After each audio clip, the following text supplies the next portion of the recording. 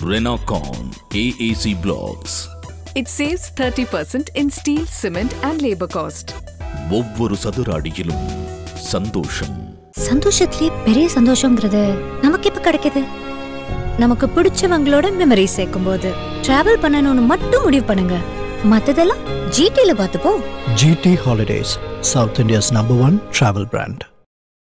உங்களுடைய கட்சியின் பொதுச் செயலாளர் திரு எடப்பாடி பழனிசாமி அவர்கள் டெல்லிக்கு போய் அமித்ஷாவை சந்தித்தார். எப்பவுமே ஒரு படையோட போவார். முன்னாள் அமைச்சர் படையோட ஒரு டீம் போகும். இந்த முறை தனியா போய் வந்திருக்காரு. அதான் தனியா போயிருக்காருன்னா என்ன விஷயமா இருக்கும்? இல்ல தனியா அவங்கயா பேச ஆசைப்படுறாங்க? இல்ல பாஜக. மெசேஜ் கிளியரா இருக்குல்ல. நீங்க பிரதமர் வேட்பாளர் மோடி. தான். செல்லூர் ராஜு சொல்றாரு. ஜெயக்குமார் அவர்கள் கூட்டணியை பத்தி தேர்தல் காலத்துல பேசிக்கலான்றாரு. இபிஎஸ் பேசவே மாட்டேன்றாரு. அப்ப என்ன முடிவுல இருக்கீங்க? அதை சொல்லுங்க. அவர் என்ன முடிவோ அதான் எங்க முடிவு. எப்ப சார். சொல்லுவீங்க? அவர் அவர் ஸ்டாலின் தினமும் பேசுறாருன்னு நான் சொல்றேன். ஸ்டாலின் தினமும் பேசுறாரு ஸ்டாலின் தினமும் ஷூட்டிங் நடிக்கிறாரு தினமும் அறிவிப்பு கொடுக்குறாரு அது அவரோட பாணி. அது என்னமோ பண்ணிட்டு போறாரு. சார் நாடாளுமன்ற தேர்தல் உங்க டார்கெட் இல்லாத மாதிரி நல்லா தெரியுது. சார். உங்களுடைய டார்கெட் சட்டமன்ற தேர்தல் ரெண்டாயிரத்தி இருபத்தாறு. இருபத்தி நாலு உங்களுக்கு அது ஒரு எண்ணப்பாடு இல்ல போல தெரியுது. வந்தா என்ன போனா என்ன நஷ்டம் நமக்கா? அப்படின்ற மாதிரி எண்ணப்பாட்டுல இருக்கதோ ஒரு வேலை அதிமுக. கூசாம போய் சொல்லி போய் சொல்லி ரெண்டரை வருஷம் ஓடிடுச்சு மாதே. சார் கொள்ளையடிச்ச காசுல கோல்மால் போறதுக்கு போயிட்டு இருக்குது முக்கால் லட்சம் கோடி கடனை வாங்கி மக்கள் நலத்திட்டங்கள் எல்லாத்தையும் நிறுத்திட்டு அந்த குடும்பம் மட்டும் தான் கொள்ளையடிச்சு போயிட்டு இருக்கு குடும்பத்தை சேர்ந்தவங்க மட்டும்தான் எல்லா வியாபாரத்தையும் தலையிட்டு கொள்ளையடிச்சு போயிட்டு இருக்காங்க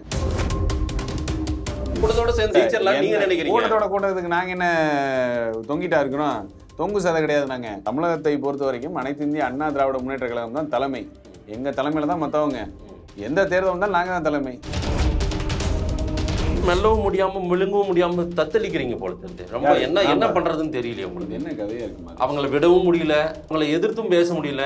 உடனே போய் நெருக்கமாவும் பேசுறோம் அடிச்சும் பேசுறோம். எல்லாமே கலந்து நடக்குது. ஒரு கலவையா குழப்பமாவே இருக்கு. இதுதான் அரசியல்? உதயநிதி வந்து தலைவர் ஆகணும் அவருக்கு வந்து துணை முதல்வர் பதவி கொடுக்கணுங்கிறக்கா அவங்க போதைக்கு அஇஅதிமுக ஊருகையா. அவர் கூப்பிடுவார் நம்ம உண்ணாவிரத்துக்கு வாங்கன்னு. ஏன்னா அவர் என்ன பெரிய தலைவரா? கூப்பிடல? வாங்க மோடி கிட்ட போய் பெரிய தலைவரா? அமித்ஷா கிட்ட பேசலாம் அவர் என்ன வாங்க பெரிய தலைவரா? நாங்க ஒன்றும் பரம்பரை கொத்தடிமை கிடையாது. எங்களுக்கு தெரியாது என்ன ஒண்ணுன்ட்டு. எங்க தலைவர் தெரியாது என்ன ஒண்ணுன்ட்டு. பாஜக மீண்டும் வந்தால் இந்தியாவுக்கு ஆபத்து தமிழ்நாட்டுக்கு ஆபத்துன்றாரு. நீங்க என்ன பாஜக மீண்டும் வந்தா அதுக்கு எதுக்கு பாஜக வரணும்? ஸ்டாலின் வந்தாலே போதுமே. ரெண்டு மூன்று நாட்களாக நடந்து கொண்டிருக்கிறோம் இந்த அண்ணாமலை மோதல் குறித்து பேச வேண்டாம்னு ஏதாவது சொல்லிட்டாங்களா தலைமையில? அப்படி ஒன்றும் அதிகாரப்பூர்வமா சொன்ன மாதிரி தெரியல. அவர் ஒரு எதிர்வினை ஆற்றுகிறார். அதுக்கு பதிலுக்கு பதில் போகுது. விவாதங்கள் பெரிதாகுது. கூட்டணி இல்லைன்னு நீங்க சொல்லிட்டு போறீங்க. ஆனா அங்க கூட்டணி இருக்குன்றீங்க. எங்களுக்கு ஒரே குழப்பமா இருக்குது. நீங்க கூட்டணியில் இருக்கீங்களா இல்லையா? பிஜேபியை பார்த்து அதிமுக பயப்படுதா? பிஜேபியை பார்த்து அஇஅதிமுக பயப்படான்னு கேக்குறீங்க. பயப்படுதா? அனைத்து களம் கண்டு வரலாறு படைத்த இயக்கம் சினிமா படத்துக்கு டைலாக் எழுத போறோம். யாரை பார்த்து யாருக்குங்க பயம்? எங்களுக்கு என்னங்க பயம்? அதன் தமிழ் நேயர்களுக்கு வணக்கம். பல்வேறு துறைகளில் ஆகச் சிறந்த ஆளுமைகளை சந்தித்து நாம் நேர்காணல் எடுத்து வருகிறோம். அந்த வகையில் நம்மோடு இணைந்திருக்கிறார் அண்ணா திராவிட முன்னேற்ற கழகத்தின் செய்தி தொடர்பாளர் திரு கோவை சத்யன் அவர்கள். அவரிடம் கேட்பதற்கு நிறைய இருக்குன்னு வாருங்கள் அவரிடமே கேட்போம். வணக்கம் திரு சத்யன் சார். வணக்கம் மதேஷ். எப்படி இருக்கீங்க? நல்லா இருக்கேன். எப்படி இருக்கீங்க? நல்லா இருக்கும். உங்களுடைய கட்சியின் பொதுச் செயலாளர் திரு எடப்பாடி பழனிசாமி அவர்கள். டெல்லிக்கு போய் அமித்ஷாவை சந்தித்தார். என்ன நடந்தது அங்க? வழக்கமான சந்திப்பு தான். ஒரு கட்சியோட மிக முக்கிய தலைவர்கள் ரெண்டு பேர் வந்து பார்க்க எங்க கட்சியோட பொது பொதுச் செயலாளர். அங்கே அவர் ஒரு மிகப்பெரிய டாப் த்ரீ மோடி அமித்ஷா நட்டா அதில் அந்த வரிசையில் அவர் வந்து வழக்கமான ஒரு சந்திப்பு தான். எந்த ஒரு காரண காரியங்கள் எதுவும் இல்லை. அது மாதிரி வரப்போகிற நாடாளுமன்ற சிறப்பு கூட்டத்தொடர்னு கூப்பிட்டாங்க. அதை பற்றி ஒரு ரெண்டு மூணு வார்த்தைகள் பேசிட்டு வந்தாங்க. அவ்வளோதான் எப்பவுமே ஒரு அஜெண்டாவோட போன மாதிரிலாம் இல்லை. இயல்பான ஒரு விஷயம் வருகின்ற நாடாளுமன்ற தேர்தல் என்ன ஏது இயல்பான விஷயம் இயல்பான சந்திப்பு தான். சோ ஒரு கூட்டணி பேச்சுவார்த்தை கூட நடந்திருக்கும்ல? இருக்கலாம். இருக்கு கூட்டணி பத்தின்னு இல்லை வரப்போகின்ற நாடாளுமன்றத்தில் இப்போ சிறப்பு கூட்டத்தொடரில் என்ன அப்படின்னு இந்த ரிசர்வேஷன் பில் என்ன ஏது அப்படிங்கிறத பற்றியும். இரண்டாயிரத்தி இருபத்தி நாலு களம் எப்படி இருக்கும் என்ன ஏது அப்படிங்கிறது ஒரு ஒரு சாதாரணமான ஒரு சந்திப்பு தான். மரியாதை நிமித்தமான சந்திப்பு தான் அது. எப்பவுமே ஒரு பத்திரிகையாளர் சந்திப்பெல்லாம் கொடுத்து என்ன விஷயன்றதெல்லாம் கொஞ்சம் பெருசா நம்ம விவாதம் விவாதத்துக்கு உட்படுத்தி விட்டு வருவோம். ஒன்றும் பெருசா நடந்த மாதிரி இல்லை அதான் சொல்றேனே ஒரு மரியாதை நிமித்தமான ஒரு சந்திப்பு தான். அவர் கழக பொதுச் செயலாளர் அப்படின்னு கடைசியாக போனது என்டிஏவோட மீட்டிங்க்கு தான் போனார். அது மாதிரி கழக பொதுச் செயலாளர் ஒரு தனியாக ஒரு போன ஒரு வாய்ப்பு இல்லை. அது ஒரு வாய்ப்பு அமைய பெற்றது. இருபெரும் தலைவர்களும் பார்த்து சந்திச்சு பரஸ்பரம் பரிமாறிக்கொள்வது இயல்பா வாடிக்கையா நடக்கிற ஒரு விஷயம். அதுதான் நடந்தது. எப்பவுமே ஒரு படையோட போவார். முன்னாள் அமைச்சர் படையோட ஒரு டீம் போகும். இந்த முறை தனியா போய் வந்திருக்காரு. அதான் தனியா போயிருக்காருன்னா என்ன விஷயமா இருக்கும்? இல்ல தனியா அவங்கயா பேச ஆசைப்படுறாங்க? இல்ல. மெசேஜ் மெசேஜ் கிளியரா இருக்குல்ல. இரண்டாக பிரிந்தது மூன்றாக பிரிந்தது நான்காக பிரிந்ததுன்னு. இருக்கிற எல்லா உலகம் தமிழ்நாட்டு ஊடகத்தை தவிர்த்து மத்த எல்லாருக்குமே தெரிஞ்சிருச்சு. இப்ப அனைத்து அண்ணா திராவிட முன்னேற்ற கழகம் ஒற்றை தலைமை அது எடப்பாடியார் தான் போச்சுன்னு எல்லாருக்குமே தெரியுது. அதனோட வெளிப்பாடு தானே? கழக பொதுச் செயலர் அவரு. கழகத்தின் மூன்றாவது அத்தியாயம். அவரு படையோட தான் போகணும் அப்படிங்கறதுலாம் இல்லையே. அம்மையார் ஜெயலலிதா எப்படி தனியா போய் பார்த்தாங்களோ தலைவர்களை அதாவது டெல்லியில இருக்கிற அங்க ஆளுகின்ற தலைவர்களை எப்படி தனியா போய் பார்த்தாங்களோ அந்த மாதிரி திரு இபிஎஸ் அவர்களும் தனியா போய் பார்க்குற அளவுக்கு அந்த தலைமை பொசிஷனுக்கு வந்துட்டாருன்றதை காட்டுறதுக்காக தனியா போனாரா? அந்த பொசிஷனுக்கு என்ன தேவையோ அதை தான் அவர் செய்யறாரு அவர் என்னைக்குமே தன்னை முன்னிறுத்தி நான் தான் அப்படின்னு பேசினது இல்லை ஆனா இந்த பொறுப்பு அவருக்கு சிறந்தவர் அவருக்கு தான் இந்த பொறுப்பு அந்த பொறுப்புக்கு உகந்தவர்னு சொல்லி கட்சியோட நிர்வாகிகள் தொண்டர்கள் மக்கள் எல்லாம் முடிவு பண்ணி அந்த இடம் அவருக்கு போனதுக்கு அப்புறம் அந்த இடத்துக்கு தேவையானோ அதை தான் அவர் பண்றாரு. ம். அதான் நான் சொல்றேன் கழகத்தின் மூன்றாவது அத்தியாயம். அந்த மூன்றாவது அத்தியாயம் இந்த கழக பொதுச்செயலாளர் அந்த பொதுச்செயலாளருக்குரிய ரோல் என்னவோ அதை தான் அவர் செய்யறாரு பிஜேபியோடான ரேப்போன் உங்களுக்கு கரெக்டா இருக்குங்களா? அந்த கூட்டணின்றது சரியான ஒரு கூட்டணியா தான் நீங்க நினைக்கிறீங்களா? அது ஒரு பலமான கூட்டணி. நிச்சயமா நமக்கும் வெற்றி வாய்ப்புக்கான சாதகங்கள் இருக்கு. நம்ம மூலமா அவங்களுக்கும் இருக்கு. அவங்க மூலமா நமக்கும் இருக்கு அப்படின்னு நினைக்கிறீங்களா? கூட்டணியை பொறுத்து முடிவெடுக்க வேண்டிய முழு அதிகாரம் இப்போ நடந்த மதுரை மாநாட்டில் கூட அதான் தீர்மானமாக போட்டோம். கூட்டணியை குறித்து முடிவெடுக்கக்கூடிய முழு அதிகாரம் பொருந்தியவர் அண்ணன் எடப்பாடியார். அவர் சொல்லுவார். அவர் என்ன முடிவெடுக்கிறாரோ அதான் ஃபைனல் கால சூழலுக்கு ஏற்ற மாதிரி தான் கூட்டணி. அதுதான். கொள்கைகள் ஒன்றுபட்டு கிடையாது. அந்த கால சூழலுக்கு ஏற்றவாறு என்ன ஏதுங்கிறது முடிவெடுக்கக்கூடிய அதிகாரம் அண்ணன் கையில் இருக்கு எடப்பாடியார் கையில் இருக்கு. அவர் சொல்றது தான் ஃபைனல் நாடாளுமன்ற தேர்தலுக்கு தயாராகி விட்டதா அதிமுக எப்போ? அந்த ஃபோர்ஸ் இல்லாத மாதிரி தெரியுதே சார். ஒரு தேர்தலை சந்திக்க போறோம்னா ஒரு வேகம் தெரியணும். ஒரு பரபரப்பு தெரியணும். ஏன் மதேஷ்? கொரோனாங்கிறதுக்கு முன்னாடி அறுபத்தேழாயிரம் பூத்து தமிழ்நாட்டில்.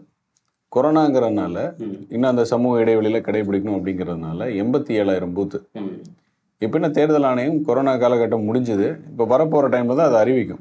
என்ன ஏது? எத்தனை நம்பர் ஆஃப் பூத்ஸ் எங்கே ஏதுன்னு இனிமேல் தான் அறிவிக்கும். ஆனால் எண்பத்தேழாயிரம் பூத்துங்க ஆல்ரெடியாக இருக்குது அனைத்து அண்ணா திராவிட முன்னேற்றங்கள் கடந்த ஐந்து மாத காலமாக அண்ணன் எடப்பாடியோட உத்தரவில் பூத் வரைக்கும் வேலை செய்யணும் பூத்தில் இந்த இந்த ஆட்களை நியமிக்கணும் அப்படின்னு சொல்லி பூத் கமிட்டிலேருந்து ஃபார்ம் பண்ணுறதுக்குன்னு அதுக்கான ஆட்கள் வரைக்கும் தேர்வு செய்யப்பட்டு ரெடியாக இருக்குது எப்போ எண்பத்தி ஏழாயிரம். பூத்துக்கு. அந்தந்த மாவட்டத்தில் ஆலோசனை கூட நடந்து எப்போ முடிஞ்சு இப்ப திமுகவுல பூத் கமிட்டி கூட்டம் இப்ப சமீபத்தில் நடந்தது சார். ஒரு பெரிய அரேஞ்ச்மெண்ட் பண்ணி பெரிய கூட்டம் நடந்தது நீங்க பார்த்திருப்பீங்க. சென்னையில செய்தியாச்சு. மாதேஷ் என்ன கேட்டிருக்கணும்னா. அஇஅதிமுக அந்தந்த மாவட்டத்திலேயே போட்டு வேலையை முடிச்சாங்க. நீங்க இப்பதான் போடுறீங்களா அப்படின்னு நீங்க அவங்களே பார்த்து கேட்டிருக்கணும். நீங்க எங்களை பார்த்து போட்ட மாதிரி தெரியலையேங்கிறீங்க. பூத் கமிட்டி கூட்டம் நீங்க மாவட்ட வாரியா போட்டீங்கன்ற தகவலை நீங்க சொல்லி தான் நாங்க தெரிஞ்சுக்க முடியுது. அப்ப இவங்க தேர்தல் வேலையை செஞ்சுட்டு இருக்குன்ற தகவல் கூட நாங்களா கேட்டாதான் தெரியுது. அந்த அளவுக்கு தான் நீங்க செஞ்சுட்டு இருக்கீங்க அப்ப தேர்தல் வேலையை. அப்போ இன்னொன்னு சொல்லணும். விளம்பரம் மட்டுமே இருக்கு. அங்கே விளம்பரத்துல தான் ஓடுது அப்படிங்கறதோட தொடர்ச்சியா தான் அது ஓடிட்டு இருக்குன்னு கூட இல்ல கேளுங்க சார் ஒரு ஆர்கனைஸ் பண்ணி ஒரு தொண்டர்களை அந்த கேர்டர்ஸ் உங்க கட்சியினுடைய பூத் கமிட்டி ஆட்களை கூப்பிட்டு உட்கார வச்சு பேசுறதுன்றது என்ன உற்சாகமா இருக்கும்? சைலண்டா நீங்க மாவட்ட செயலாளர் வச்சு பண்றது என்ன இருக்கும்? நான் சொல்றதுக்கும் நீங்க சொல்றதுக்கும் நிறைய வித்தியாசம் இருக்கு. இப்போதான் திமுக கூப்பிட்டு பூத் கமிட்டி வேலையில ஆரம்பிங்க வைங்க என்னன்னு சொல்றாங்க அப்படிங்கிற மாதிரி சொல்றீங்க. அது அண்ணன் வந்து அஞ்சு மாசத்துக்கு முன்னாடியே சொல்லியாச்சு. ஆட்களை தேர்வு செய்து எடுத்து வைங்க அப்படிங்கிறது அந்த பணியெல்லாம் நடந்து அஞ்சு மாசம் பணியெல்லாம் முடிஞ்சு தயாரா இருக்காங்க. ம். இனிமே ஒரு ஃபார்மாலிட்டி அறிவிப்பு. வாங்க இது ஒரு கூட்டம்னு ஒரு பெரிய கூட்டமாக நடக்கலாம். என்னங்கிறத தலைவர் முடிவு பண்ணி சொல்லுவார். நீங்க கேட்ட கேள்வி தயாராயிட்டீங்களான்னு கேட்டா நாங்க தயாராயாச்சு. அறுபத்தி ஏழாயிரம் அறுபத்தி ஏழாயிரம் பூத்தா எண்பத்தி ஏழாயிரம் பூத்தானே உங்களுக்கு நான் கேட்டேன் இல்லையா? ஆனா எண்பத்தேழாயிரம் பூத்துக்கு நாங்க தயாரா இருக்கோம். தயாராகி நாங்க ஒரு அஞ்சு மாசம் ஆச்சு. அண்ணன் உத்தரவு கொடுத்ததுக்கு அப்புறம் வேக வேகமா ஒன்றரை மாசம் வேலை முடிஞ்சது. அதனால ரெடியா இருக்கும். இது வந்து அறிவிப்பு விளம்பரம் மூலமா தான் மக்களுக்கு தெரிய வரும்போது அதுக்கான கால சூழல் வரும்போது அது நடக்கும். ரெண்டாயிரத்தி இருபத்தி நாலு நாடாளுமன்ற தேர்தலில் நாற்பதுக்கு நாற்பதும் நாம வெற்றி பெற வேண்டும். பாஜக இல்லாமல் ஒரு ஆட்சி அமைய வேண்டும் அப்படின்னு ஸ்டாலின் சொல்றது நல்லா கேக்குது. அவர் தேர்தலுக்கு தயாராகிறது நல்லா கேக்குது. இபிஎஸ் சொல்றது கேட்கலையே சார் அதை தான் நான் கேட்கறேன் அப்ப என்ன சொல்றீங்கன்னா பாஜக ஒழிக்க வேண்டும்னா தேர்தல் தயாராயிட்டார்னு அர்த்தம். அவங்க அவங்க டார்கெட்ல கரெக்டா இருக்காங்க. நீங்க யாருன்னா சொல்லணும்? அப்படி சொல்றீங்க இந்தியா கூட்டணி மோடி தான் மீண்டும் பிரதமரா வரணும் அப்படின்னு அழுத்தமா இபிஎஸ் சொல்லணுமா? சொல்லக்கூடாதா? எங்க சொல்றாரு? நீங்க சொல்றது பேர் தேர்தல் பிரச்சாரம் மதேஷ். தேர்தல் பிரச்சாரம் அடுத்தது. முதல்ல அஸ்திவாரம் என்னன்னு பார்க்கணும் அதுக்கப்புறம் தான் வீடு கட்டணும். சோ உங்களுக்கு முடிவாகல அஸ்திவாரம் அஸ்திவாரம் ரெடி ஆயாச்சு. கழக கட்டமைப்பு என்ன ஏதுங்கிற அஸ்திவாரம் ஃபுல்லா ரெடி ஆயாச்சு. இப்போ கூட சமீபத்தில் நடந்த மாவட்ட செயலாளர் ஆலோசனை கூட்டத்தில் எந்தெந்த நிர்வாகிகள் வந்து விடப்பட்டிருக்கிறார்கள் எந்த பொறுப்புகள் விடப்பட்டிருக்கோ அதோட லிஸ்ட் ரெடி பண்ணி வைங்கன்னு அண்ணன் சொல்லியாச்சு. அந்த லிஸ்ட் ரெடி ஆயிருக்கு. அறிவிப்புகள் தான் தொடரும். அறிவிப்பு தொடரும்போது பிரச்சாரம் சார், போகும்போது நீங்க சொல்றது கட்சியினுடைய பதவிகளை நான் சொல்றீங்க. நான் கேட்கறது மோடி வேண்டாம். அதுதான் ஸ்டாலினுடைய குரல் அதுதான் பிரச்சாரம் அதுதான் வந்து ரெண்டாயிரத்தி இருபத்தி நாலு தேர்தலுடைய அவங்க வேலையை ஸ்டார்ட் பண்றதுக்கான அறிகுறி உங்களுக்கு அந்த மாதிரி மோடி தான் பிரதமர் வேணும் அப்படின்ற அறிகுறியை இபிஎஸ் சொன்னாரா? அதை தான் நான் கேட்கறேன் தேசிய ஜனநாயக கூட்டணியில இருக்கும் அப்படின்னா தேசிய ஜனநாயக கூட்டணியில பிரதமர் வேட்பாளர் நரேந்திர மோடி. இதுல ஏதோ சர்ச்சை இருக்கா? இது ஏதோ மாற்று கருத்து இருக்கா? இல்ல நீங்க பிரதமர் வேட்பாளர் மோடி. தான். செல்லூர் ராஜு சொல்றாரு. ஜெயக்குமார் அவர்கள் கூட்டணியை பத்தி தேர்தல் காலத்துல பேசிக்கலான்றாரு. இபிஎஸ் பேசவே மாட்டேன்றாரு. அப்ப என்ன முடிவுல இருக்கீங்க? அதை சொல்லுங்க. அவர் என்ன முடிவோ? அதான் எங்க முடிவு. அதான் சொல்லிட்டோமே. தெளிவா தான் சொல்றீங்க? அவர் அவருக்கு தெரியாது. ஸ்டாலின் தினமும் பேசுறாருன்னு நான் சொல்றேன். நீங்க வந்து. ஸ்டாலின் தினமும் பேசுறாரு தாலின் தினமும் ஷூட்டிங் நடிக்கிறாரு தினமும் அறிவிப்பு கொடுக்குறாரு அது அவரோட பாணி. அது என்னமோ பண்ணிட்டு போறாரு. எங்க எடப்பாடியாருக்கு தெரியுங்க எந்த வேலையை எப்ப செய்யணும் அப்படின்னு. அப்ப நீங்க முடிவே பண்ணல. அந்த- நம்பிக்கையை பெற்றதுனால தான் அவர் அங்க இருக்கு. இல்ல நீங்க அப்ப இன்னும் முடிவு பண்ணல. அவங்க முடிவு பண்ணிட்டாங்க. வரக்கூடாது மோடி வரக்கூடாதுன்றத அவங்க முடிவு பண்ணிட்டாங்க. அவனுக்கு வேற சாய்ஸ் இருக்கா என்ன? யாருக்கு? திமுக வேற சாய்ஸ் அப்ப உங்களுக்கு சாய்ஸ் இருக்கா என்ன? மோடி பிரதமராக வர வேண்டும்னு சொல்றதை விட வேற யாராவது பிரதமரா வரணும்னு வேற ஏதாவது சாய்ஸ் இருக்கா? அரசியல் களத்துல சாய்ஸ்ங்கிறது ஆயிரம் சாய்ஸ் இருக்கு. ஒரு நாளே இங்கிலீஷ் சொல்லுவாங்க one day is big day in politics. ஆனால் நிகழ்வுகள் எப்படி வேணா மாறும் கட்டமைப்புகள் எப்படி வேணாலும் மாறும். சரி. அதை செய்யக்கூடிய இடத்தில் யார் இருக்கிறார்? அவருக்கு அந்த அனுபவம் இருக்கிறதா? அவருக்கு அந்த ஆளுமை இருக்கிறதான்னா அண்ணன் எடப்பாடியார் செய்யக்கூடிய இடத்துல இருக்காரு. அவருக்கு அந்த அனுபவம் இருக்கு அந்த ஆளுமையும் இருக்கு. ம். நேரங்காலம் வரட்டும் வரும்போது தானே என்ன சார்? பிரைம் மினிஸ்டர் கூப்பிட்டு பக்கத்துல உட்கார வச்ச உடனே சந்தோஷப்பட்டீங்களா சார்? ஆனா உடனே சொல்ல மாட்டேன்றீங்களே அது வந்து நேரங்காலம் வரட்டும் அதைத்தான் நாங்களும் சொல்றோம் சார். மரியாதைங்கிறது வந்து கேட்டு பெறுவதில்லை. தானா வருவது மரியாதை. ஓகே. அது எடப்பாடியார் பெற்றிருக்கிறார். அதனால பிரதமர் பக்கத்துல போய் நிக்கிறாரு. ம- நரேந்திர மோடி அவர்களுக்கு தெரிஞ்சிருக்கு. சரி. அனைத்து இந்திய அண்ணா திராவிட முன்னேற்ற கழக இயக்கம்னா எவ்வளவு பெரிய இயக்கம்? அந்த இயக்கத்தோட பொதுச் செயலர்னா அது என்ன? அது எடப்பாடியார் அப்படிங்கிறவர் எந்த இடத்துல அவர் ப்ரூவ் பண்ணி வந்திருக்காருன்னு அவருக்கு கிடைக்கப்பட்ட மரியாதை. கேட்டு பெறப்பட்ட மரியாதை இல்லை. எப்படின்னா இந்திய கூட்டணின்னு ஒரு போட்டோ செஷன் எடுக்கும்போது. டிஆர் பாலு முன்னாடி நிக்கும்போது ஓடி போடி கேமராமேன் போய் தயவு செஞ்சு நீங்க நிக்காதீங்க உங்க தலைவர் அந்த பக்கம் பின்னாடி நிக்கிற வந்து முன்னாடி நில்லுங்க அப்படின்னு சொன்ன கதை மாதிரி. அப்படி கிடையாது. அந்த மாதிரி எல்லாம் எங்கேயும் நடக்கலையே? பாருங்க எடுத்து பாருங்க. அப்படி எல்லாம் இல்ல கடைசியா சார். நீங்க கடைசியா எதையாவது பூனையில் நடந்த கூடத்துல எடுத்து பாருங்க. நீங்க ஏதாவது டிஆர் பாலு முன்னாடி கேமரா எடுத்தவர் எப்படி ஓடி வந்து எந்த சொன்னாங்க? பாருங்க நீங்க. அதனால நான் வந்து மரியாதைங்கிறது தானா கிடைக்கும். ம். அது நீங்க செய்யக்கூடிய ஆளுமை என்பது சொல்லல செயல்ங்கிற மாதிரி எடப்பாடியாரு அவர் அந்த மரியாதை வந்து தானாக தேடி வருகிறது. அவரோட ஆளுமைக்கும் செயல்பாட்டுக்கும். அதனால நீங்க சொல்றதெல்லாம் வந்து இப்படியா இருக்குமே அப்படியா இருக்குமே அதுக்கான கால சூழல் வரும்போது எங்க தலைவருக்கு தெரியும். எப்படி பண்ணணுங்கிறது தெரியும். கண்டிப்பா நடக்கும் சார் நாடாளுமன்ற தேர்தல் உங்க டார்கெட் இல்லாத மாதிரி நல்லா தெரியுது சார். நான் இந்த பேட்டியை அதுக்கு தான் எடுக்க வந்தேன். உங்களுடைய டார்கெட் சட்டமன்ற தேர்தல் ரெண்டாயிரத்தி இருபத்தாறு. இருபத்தி நாலு உங்களுக்கு அந்த ஒரு எண்ணப்பாடு இல்லை போல தெரியுது. வந்தா என்ன போனா என்ன? நஷ்டம் நமக்கா அப்படின்ற மாதிரி எண்ணப்பாட்டில் இருக்கதோ ஒரு வேலை அதிமுக சரி மதேஷ் நாளைக்கு தேர்தல் அறிவிப்பு வந்தா கூட. களம் காண்பதற்கு அஇஅதிமுக ரெடி. இதுதான் உண்மை இதை வந்து விளம்பரம் மூலமாகத்தான் தெரியப்படுத்தணும்னு மாதேஷ் எதிர்பார்த்தாருன்னா சொல்லுங்க. அந்த விளம்பரம் வரும்போது நான் சொன்னது உண்மையா இல்லையான்னு உங்களுக்கு தெரியும். சார் விளம்பரம் இல்ல சார். நாங்க தேர்தல்னா ஒரு ஃபீவர் ஒரு தெரியும் நாடு சார். ஒரு நாடு ஒரு எலெக்ஷன் ஃபீவர் நான் வந்து எத்தனையோ தேர்தல்களை பார்த்துருக்கேன். நீங்க உங்க உங்க அனுபவத்துல நீங்களுமே நிறைய தேர்தலை நீங்க வந்து வேலை செஞ்சிருக்கீங்க ஒர்க் பண்ணிருக்கீங்க. ஒரு ஃபீவர் தெரியும் ஒரு ஒரு வேகம் தெரியும் ரொம்ப பரபரப்பா இருப்பாங்க. ஒரு பரபரப்பு இல்லை ரொம்ப அழகா அந்த பரபரப்புக்கான சமிகைகள் அண்ணன் இப்ப சொன்னார். இப்ப தாம்பரத்துல போனவர் நடந்த கூட்டத்தோட அண்ணன் சொன்னாரு. மாதேஷ் அதை கேட்பீங்கன்னு நினைச்சேன் நானும். ஒரு நாடு ஒரு தேர்தல். சொன்னாரு. நான் வரேன். அங்க கேளுங்க. நான் வருவேன். நான் முதல்ல சார் ரெண்டாயிரத்தி இருபத்தி நாலு உங்க மை உங்க மைண்ட்ல இருக்கிற மாதிரி தெரியல அதிமுக மைண்ட்ல இல்ல இல்ல. இருபத்தி ஆறு தான் நம்ம இலக்கு அப்படின்னு நீங்க நினைக்கிறீங்க நீங்க தாம்பரத்தை கவனிச்சிருந்தீங்கன்னா நீங்க இந்த வரேன். இல்ல இல்ல. இங்க கேளுங்க. ஒரு நாடு ஒரு தேர்தல். வரக்கூடிய சாத்தியக்கூறு இருக்கிறதுன்னு சொல்லி எங்க பொதுச் செயலாளர் சொல்றாரு. என்ன? அப்போ ஒரு நாடு ஒரு தேர்தல் சட்டமன்ற தேர்தல் அப்படிங்கிறது சேர்ந்து வரும் என்றால். அதற்கும் தயார். நாளைக்கு அறிவிக்க சொல்லுங்க நாளைக்கு கேண்டிடேட் லிஸ்ட் வரும். எதுக்கு. ஒரே நாடு ஒரே தேர்தல் வரும்ன்ற மாதிரி இவர் ஒரு சமிக்கையை சொல்றாரு. யார் சொல்லி அமிச்சாங்க? அமித்ஷாவை பார்க்கும்போது சொல்லி அமிச்சாங்களா? இது என்ன கதையா இருக்கு? ஒரு ஒருத்தரையும் டெல்லிக்கு போனா சொல்லி அமிச்சாங்க அதை சொல்லி இங்க சொல்லி இந்த நரேட்டிவ் ஏன் திரும்பி திரும்பி பில்ட் பண்ணிட்டே இருக்கீங்க? சரி. இதென்ன டெல்லி போனா கேட்டு வந்து சொல்றது என்ன? போஸ்ட்மேன் உதயம் பாக்குறது ஆசையா இருக்கு உங்களுக்கு. ஒரே? நாடு ஒரே. தேர்தல் எங்க வரும்? எதுக்கு வரும்? ஒரே நாடு. இந்த- இப்ப ஒரே நாடு ஒரே நரேட்டிவ் எப்ப நிறுத்துவீங்க? உங்களுக்கே அந்த ஆசை. இந்த நரேட்டிவ் எப்ப நிறுத்துவீங்க? டெல்லி போயிட்டு வந்தா இங்க சொல்ல அங்க சொல்லி அமிச்சாங்களா வச்சாங்களான்னு. இது என்ன கதை? அஇஅதிமுகங்கிறது ஒரு தனி பெரும்பான்மை பெற்ற இயக்கம். ஐம்பத்தோரு ஆண்டுகளும் இருக்கும். இயக்கம். அதோட தலைவருக்கு தெரியாத எந்த நேரத்துல எதை சொல்லணும் எதை வைக்கணும் கேட்டு வந்து சொல்ற அளவுக்கு தலைவர்லாம் சரி ஓகே சார் எதற்காக ஒரே நாடு ஒரே தேர்தல் இப்ப தேவைன்னு நீங்க நினைக்கிறீங்க? ஏன் வரணும்? வரணுங்க. ஏன் எதுக்கு? வந்தா நல்லது. முதல்ல இந்த கொள்ளக்கார திமுக வீட்டுக்கு போனோம்னா ஒரே நாடு ஒரே தேர்தல் வந்தா நல்லது. ம். சிறப்பா நல்லா மீத இருக்கிற ரெண்டரை வருஷம் டென்யூருக்காக தானே அவங்க வாக்கு போட்டாங்க. அஞ்சு வருஷத்துக்கு தானே போட்டிருக்காங்க. இன்னும் பேலன்ஸ் இருக்கு. அப்படி மக்களுக்கு சிறப்பா நல்லது செஞ்சிருந்தா திருப்பி அஞ்சு வருஷம் அவங்க தானே வர போறாங்க நல்லது செய்யறாங்களா அப்ப முடிவு பண்ணிட்டாரு. திருப்பி ரெண்டரை வருஷம் தேர்தல் வந்தா வர மாட்டாங்க. இனிமே அதுக்கப்புறம் வர மாட்டாங்க மாதேஷ் முடிவு பண்ணிட்டாரு. நீங்க வந்து உங்க வார்த்தையெல்லாம் நீங்களும் நீங்களும். சாமானியர் தான். நீங்களும் வாக்களிக்கிறீங்க. நீங்களும் ஓட்டு நான் ஓட்டு போடுவேன். அப்ப ஒரே நாடு ஒரு தேர்தல் வந்தா திமுக வராதா? இல்ல ஒரே நல்லது ஒரே? தேர்தல் எதற்காக இப்ப தேவை மக்கள் சார்? மக்கள் நல்லது சார், இப்ப சாத்தியமா? அது நடத்த முடியுமா?